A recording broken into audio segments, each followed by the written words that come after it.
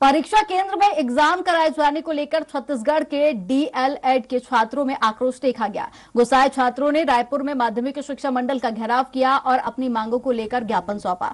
छात्रों का कहना है कि पहले उन्हें प्रमोशन दे दिया गया था। सेकेंड ईयर की ऑनलाइन क्लास भी चली, लेकिन अब टाइम टेबल जारी कर दिया गया है कि परीक्षा देना है। छात्रों ने माध्यमिक शिक्षा मंडल पर भेदभाव का आरोप लगाते हुए कहा है कि उन्हें भी प्रमोशन देना चाहिए, नहीं तो वह परीक्षा का बहिष्कार करेंगे।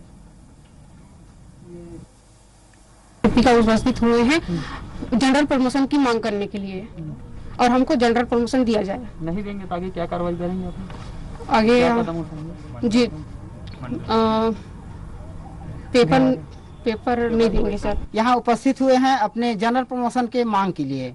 हम लोगों को जनरल प्रमोशन दिया जाए। जिस भांति असाइनमेंट के आधार पर सेकेंड ईयर को जनरल प्रमोशन दिया गया है उसी तरह हमें भी जनरल प्र- सत्या राजपूत हमारे साथ में जुड़ गए हैं संवाददाता। सत्या आखिर क्या कुछ कारण था कि पहले जनरल प्रमोशन देने की बात हुई और उसके बाद में टाइम टेबल थमा दिया गया? दिन अगर हम बात करें कोरोना काल में कई तरह के परीक्षा का पैटर्न देखने को मिला है।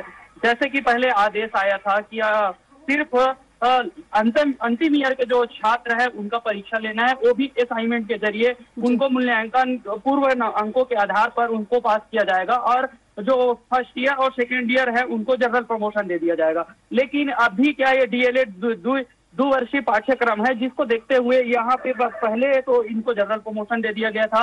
फिर अभी जो दसवीं, बारहवीं के पूरक परीक्षा का आयोजन किया गया है, जिसको सरकार भूल गई थी। ये और जब लगातार खबर छपी और लोगों को जब तो वहाँ पे प्रेशर बढ़ा तो पूरक परीक्षा का आयोजन किया गया। उसी के साथ डीएल डाइट का भी परीक्षा का आयोजन किया गया है और उसमें जो प्रमोशन दे दिया गया था, जो द्वितीय वर्ष के पाठ्यक्रम का अध्ययन कर रहे थे, उन छात्रों को अब कहा गया कि आपका प्रमोशन नहीं होगा, आपको परीक्षा देना होगा। तो ऐसे में तमाम जो प्रदेश के जो छात्र हैं लगभग छह हज़ार डीएलए डाइट के जो छात्र हैं वो कल माध्यमिक शिक्षा मंडल पहुँचे थे और वहाँ अधिकारी जो है बात करने के लिए तैयार नहीं थे। तब वो लोग उग्र होकर वहाँ पे विरोध प्रदर्शन करने लगे और साथ में उसके बाद वो शिक्षा मंत्री गए हैं लेकिन उनकी वहाँ कोई सुनवाई नहीं हुई। उनका ज्ञापन ले लिया गया। ज्ञापन लेकर उनको रिसीविंग दिया गया। आज वो उग्र होकर आगे के लिए वो अपना रणनीति बनाते हुए आज हड़ताल पर बैठ गए हैं और उनसे लगातार मांग है कि उनको जनरल प्रमोशन दिया जाए। अगर जनरल प्रमोशन नहीं देते हैं या उनको असाइनमेंट के माध्यम से परीक्षा नहीं लेते हैं तो वो आगे परीक्षा का बहिष्कार करेंगे। तो कहीं ना कहीं जो ये कोरोना काल है एक, जो परीक्षार्थी है जो विद्यार्थी हैं उनका नुकसान देखने को मिल रहा है। चलिए सत्या आप नज़र बनाए रखिएगा कि आखिर इनकी मांगे पूरी होती है या फिर नहीं। हमारे साथ में जुड़ने के लिए तमाम जानकारी साझा करने के लिए बहुत शुक्रिया आपका। दुर्ग में